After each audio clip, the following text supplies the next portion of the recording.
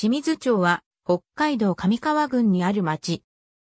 町名の清水は、当地がアイヌ語で水が成長な川を意味するペペケペを略したペケペと呼ばれており、これを意訳したものに由来している。なお、前身の自治体名、人米については、寄せに、ある、ものを意味する、肉オマに字を当てたものとされ、現在も町内のあざなどとして使われている。清水町は、十勝管内の内陸西部に位置しており、東は鹿追町、南は目室町、北は新徳町、西は日高山脈を隔てて日高町に接している。清水町の気候は大陸性気候であり、夏季は高温で冬季は低温となる。年間を通して晴天日数が多く、湿度も比較的低い。降水量は年間平均1130ミリメートルほどとなっている。町の情報歴史参照。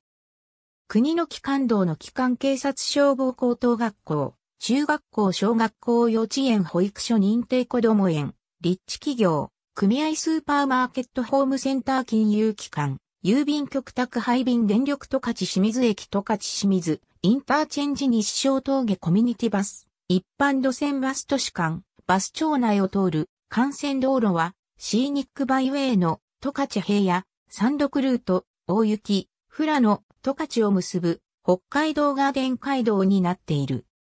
1980年に完成した清水町文化センターのこけら落としに町の人たちが集まってベートーベンの交響曲第9番を歌ったことが日本国内における第9ブームのきっかけと言われており、以後、清水町では5年ごとに2015年まで清水町第9公共曲演奏会を開催していた。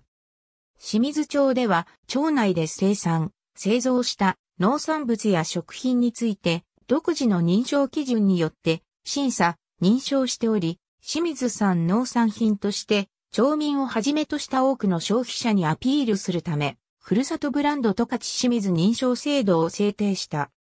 ご当地グルメは十勝清水牛玉ステーキ丼がある。